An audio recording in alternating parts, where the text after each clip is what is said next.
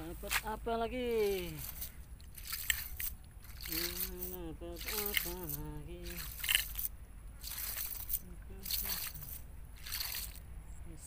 ikan banak ikan banak ikan banak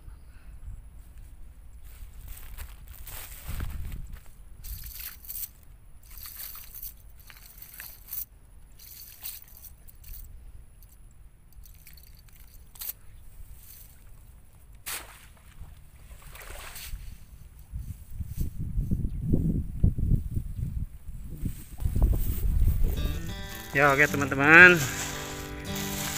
Saya sudah petualangan hari ini.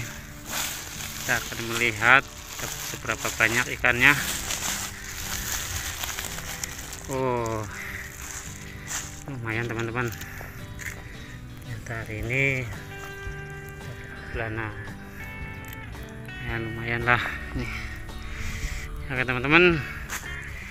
Sampai di situ dulu petualangan hari ini sampai di sampai jumpa di petualangan selanjutnya